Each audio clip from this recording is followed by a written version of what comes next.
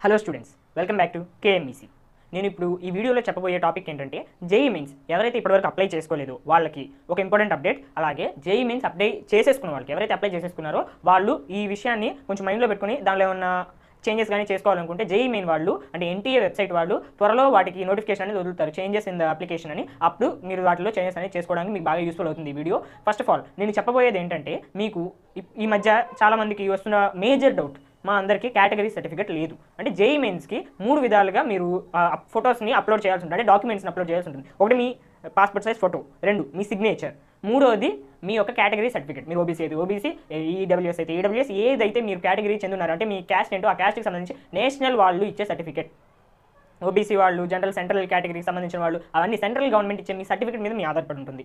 దాన్ని ఎవరైతే ఇప్పటివరకు తెచ్చుకోలేదు అంటే ఇప్పుడు చాలా తక్కువ టైం ఉంది నేను ఈ వీడియో చాలా కొంచెం లేట్గా అప్లోడ్ చేసి ఉండొచ్చు కానీ ఇప్పుడు చాలా తక్కువ టైం ఉంది ఒక సిక్స్ టు సెవెన్ డేస్ ఉంది.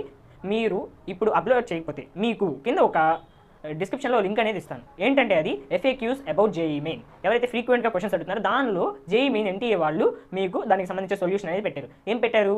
మీరు ఎవరైతే కేటగిరీ సర్టిఫికేట్ మీ దగ్గర లేదు ఆ కేటగిరీ సర్టిఫికేట్ లేని వాళ్ళు అందులో అపెండిక్స్ వన్ అని అపెండిక్స్ టూ అని ఇచ్చారు. అలాగే ఎవరైతే పీడబ్ల్యూడీ ఉంటుందో అంటే ఫిజికల్లీ హ్యాండిక్యాప్టెడ్ ఉంటారు కదా వాళ్ళకి ఆ డిసబిలిటీ సర్టిఫికేట్ ఎవరి దగ్గర అయితే లేదో వాళ్ళకి కూడా గవర్నమెంట్ ఒక ఆప్షన్ అనేది ఇచ్చింది. అది లేని వాళ్ళు దాన్ని అప్లై చేసుకుంటే చాలా రోజులకు వస్తుంది కాబట్టి ముందు మీరు దానికి అండర్టేకింగ్ తీసుకోవాల్సి ఉంటుంది. అంటే మీరు అక్కడ మేము కొన్ని రోజుల్లో తెచ్చుకుంటామండి అది తేవంగానే అప్లై చేస్తాము అది తేవంగానే మీకు ఇస్తాము.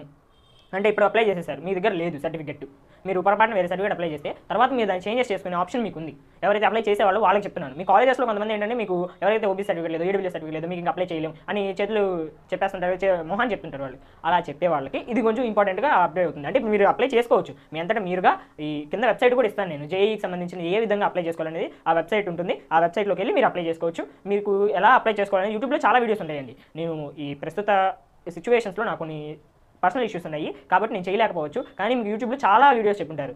చాలామంది ఎవరైతే జేఈకి ఓపెన్ అవుతుంది వాళ్ళు వెంటనే చేసేసి పెడతారు. కాబట్టి మీరు దాన్ని చూసి మీరు ఎలా అప్లై చేసుకున్నారని తెలుసుకోవచ్చు. ప్రతిదీ రియలేనమ్మా దానిలో ఏది ఫేక్ అనేది ఉండదు. ప్రతిదీ రియల్గానే చెప్తారు. ఇది చాలా వరకు హిందీలో చెప్పారు. నేను ఇప్పుడు చెప్పబోయే టాపిక్ తెలుగులో ఎవరు చెప్పలేదు. నేనే ఫస్ట్ టైం చెప్తున్నాను మీకు. మీరు అండర్టేకింగ్ తీసుకోవాల్సి ఉంటుంది. Appendix one PD PWD certificate ఎవరికైతే లేదో వాళ్ళకి. అపెండిక్స్ టూ కేటగిరీ సర్టిఫికేట్ ఎవరు లేదో వాళ్ళు అక్కడ ఏం చేయాలంటే ఎవరు ఏ రెండు సర్టిఫికేట్ లేకపోయినా ఆ సర్టిఫికేట్ మీద మీ పేరు రాసి మీ సంతకం చేస్తే చాలు. అది మీరు స్కాన్ చేసుకుని వాడు అంటే అప్లోడ్ కేటగిరీ సర్టిఫికేట్ అని ఉంటుంది కదా మీ ఫోటో కింద సిగ్నేచర్ కింద దాని ఒక కాలం ఉంటుంది. ఆ కాలంలో మీరు అప్లోడ్ చేసేటప్పుడు దీన్ని అప్లోడ్ చేయండి పీడిఎఫ్ ఫైల్ దానికి సంబంధించిన maximum to minimum some size అనేది మ్యాక్సిమం టు మినిమం వాళ్ళు చెప్పిన దాంట్లోనే ఉండాలి. మీకు ఒకవేళ సైజ్ తక్కువ లేదు చాలా ఎక్కువగా ఉందనుకోండి రెడ్యూస్ చేసుకోవచ్చు. మీరు ఆన్లైన్లో చాలా ఆప్షన్స్ ఉంటాయి. మీరు ఇప్పుడు మీరు బతికేది ట్వంటీ ట్వంటీ వన్లో చాలా అడ్వాన్స్డ్గా ఫీచర్స్ ఉన్నాయి. మీరు వెళ్ళి how to reduce image size అని ఓకే అనుకోండి గూగుల్లో వెంటనే చాలా వెబ్సైట్లు చూపించింది. ఏ వెబ్సైట్లోకి వెళ్ళి మీరు వెంటనే ప్రెస్ చేసినా అది వస్తుంది. కాబట్టి ఎవరైతే ఇప్పటివరకు అప్లోడ్ చేసుకోలేదు అంటే ఎవరికైతే అప్లై చేయలేదో వాళ్ళు వెంటనే అప్లై చేయండి. అలాగే ఎవరైతే అప్లై చేద్దామని చూసి వాళ్ళకి వాళ్ళకి తిరిగి వచ్చేసిందో అలా అంటే మీ కాలేజెస్లో చెప్తారు మీకు లేదు కాబట్టి మీరు అప్లై చేయలేరు అంటారు కదా వాళ్ళు మీరు అప్లై చేసుకోవచ్చు. అండ్ ఇంకొక ఇంపార్టెంట్ అప్డేట్ ఏంటంటే జేఈ మెయిన్స్కి ఎవరైతే ఫిబ్రవరి అటెంప్ట్ చేశారో అంటే ఇప్పుడు ఇప్పుడు మీరు అప్లై చేసుకున్నారు అనుకోండి తర్వాత దానికి ఉండదేమో అన్న డౌట్ మీకు లేదు. ఖచ్చితంగా వాళ్ళు తర్వాత అంటే మే మార్చ్కి వచ్చింది అనుకోండి మార్చ్ కంటూ స్పెషల్ విండో ఓపెన్ చేస్తారు. వాళ్ళు క్లియర్ అండ్ కట్గా చెప్పారు. One or more sessions can apply by a student అంటే ఇప్పుడు ఒక సెక్షన్ అప్లై చేసుకోవచ్చు. ఒక సెషన్కి అప్లై చేసుకోండి. తర్వాత వాళ్ళు ఓపెన్ చేశారు మీకు అప్పుడు ఐవీ ఎగ్జామ్స్ ఉన్నాయా? లేకపోతే ప్రాక్టికల్ ఎగ్జామ్స్ ఉన్నాయా? ఆ ఎగ్జామ్స్ని బట్టి మీరు తర్వాత కూడా అప్లై చేసుకోవచ్చు. నేను ఇవాళ అంటే ఈ టెన్త్ అనుకుంటా నేను ఇవాళ డేట్ ఇవాళ టెన్త్ జనవరి నేను ఇవాళ అప్లోడ్ అప్లై చేసి వచ్చాను. నేను అప్లోడ్ చేసింది కేటగిరీ సర్టిఫికేట్ నాకు లేదండి. నాకు ఓబీసీ నాకు ఓబీసీ సర్టిఫికేట్ లేదు. అప్పుడు ఏం చేశాను? అండర్టేకింగ్ తీసుకొని నా పేరు సంతకం పెట్టేసి ఆ సర్టిఫికేట్ అప్లై చేశాను. నేను మే లోపు నేను ఎన్ని సెషన్లు అయితే రాస్తాను ఆ సెషన్ లోపు నేను వాళ్ళకి హ్యాండ్ ఓవర్ చేస్తాను. ఖచ్చితంగా చేయాలండి. ఎందుకంటే మీకు జేఈ మీరు కానీ వచ్చిందంటే మీ లక్ కొద్దీ మీరు ప్రిపేర్ అయిన ప్రిపరేషన్ బట్టి మీకు వచ్చిందంటే వెంటనే మీరు అది అప్లోడ్ చేయాల్సి ఉంటుంది. అప్పుడు మీకు కౌన్సిలింగ్ ఉంటుంది. ఆ కౌన్సిలింగ్లో ఆ సర్టిఫికేట్స్ అన్ని మీరు అక్కడ చూపించాలి. కాబట్టి ఏ విధమైన టెన్షన్ లేకుండా వెంటనే జేఈకి అప్లై చేసుకోండి. నెక్స్ట్ జేఈకి సంబంధించి ఇంకో ఇంపార్టెంట్ అప్డేట్ అనేది మీరు ఇక్కడ పక్కన స్క్రీన్ మీద చూస్తున్నారు కదా మీలో చాలా మందికి డౌట్స్ వస్తుంటాయి. ఎన్ని ఏం పేపర్లు ఇవి అసలు ఈ పేపర్లు ఉంటాయి జేఈలో జేఈలో ఎన్ని పేపర్లు కూడా ఉంటాయి? ఆ జేఈలో ఈ పేపర్లు ఉంటే మేము ఎలా అప్లై చేయాలి అనేది. జేఈలో ఎక్కువ మంది అప్లై చేసేది బీఈ ఆర్ బీటెక్ అంటే ఏంటంటే బ్యాచులర్ ఆఫ్ ఇంజనీరింగ్ లేదా బ్యాచులర్ ఆఫ్ టెక్నాలజీ మీరు బీటెక్ అని ఉంటారు కదా మీరు బీటెక్ వెళ్దాం అనుకుంటారు కదా దానికి అప్లై చేసుకోండి. ఎవరైతే బీటెక్ స్టూడెంట్స్ ఉన్నారు. లేదు మేము ఆర్కిటెక్చర్కి వెళ్ళాలి లేదా ప్లానింగ్కి వెళ్ళాలి. అంటే వాటికి సంబంధించి జాబ్స్ స్పెషల్గా ఉంటాయన్నా కానీ మీకు అక్కడ అవకాశాలు తక్కువగా ఉంటాయి కానీ ఎక్కువగా మీకు అక్కడ వేకెన్సీస్ అనేవి ఉంటాయి. వేకెన్సీస్ ఎక్కువే కానీ వచ్చే ఛాన్సెస్ తక్కువ. ఎందుకు? అక్కడ మీకు ఎక్కువ కాంపిటీషన్ అనేది ఉంటుంది. కాంపిటీషన్ అంటే ఒక వేకెన్సీ తక్కువ ఉన్న చోట ఏం చేస్తారు వాళ్ళు? చాలా మంది వెళ్ళి ఉంటారు.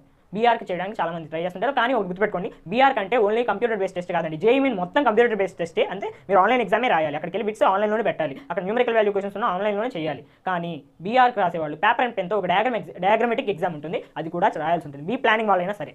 అలా కాకుండా మీరు ఏం చేద్దాం అనుకుంటారంటే రెండు చేద్దాం అనుకుంటారు కదా. వాళ్ళకి సెకండ్ కాలం వాళ్ళు ఇది మూడు కాలమ్స్ ఇక్కడ మీకు స్క్రీన్ మీద కనిపిస్తున్నాయి కదా. ఫస్ట్ కాలం ఏంటి? Single single wise exam second ఏంటి?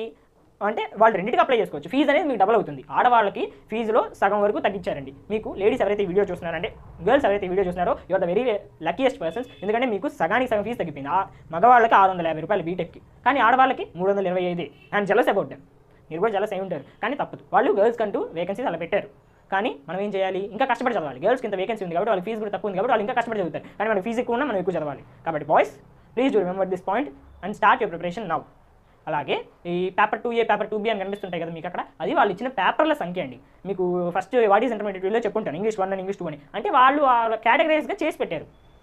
అలా అని జేఈకి వచ్చేపాటి paper two A paper two B అంటే మీకు ఓన్లీ టూ ఏ సిలబస్ ఉంటుంది ఓన్లీ మ్యాథ్స్ వరకు ఉంటుంది. మీకు ఎంపీసీ ఏం తీసుకున్న జేఈ అంటే ఓన్లీ ఎంపీసీ మాత్రం ఉంటుంది. ఎంపీసీ ప్రతి పేపర్లోనూ మీరు రాయాల్సి ఉంటుంది. దానికి ఇంక్లూడింగ్గా మీరు తీసుకునే ఆ గ్రూప్ బట్టి అంటే ఇప్పుడు బీ ప్లానింగ్ తీసుకునే వాళ్ళకి ఆ ప్లానింగ్ బట్టి స్టాటిస్టిక్స్ అనాలిసిస్ దానికి సంబంధించి స్పెషల్ ఎగ్జామ్స్ ఉంటాయో కానీ ఎంపీసీ అనేది ప్రతి ఒక్కరు రాయాల్సి ఉంటుంది. కాబట్టి ప్రతి ఒక్కరు దాన్ని ప్రిపేర్ అవ్వండి. Paper two A two B అంటే ఒక సెకండ్ ఇయర్ సిలబస్ కాదండి. మీకు జేఈ మొత్తం MPC first year and second year రెండు సిలబస్లు కలిపి పెట్టుకుంటుంది.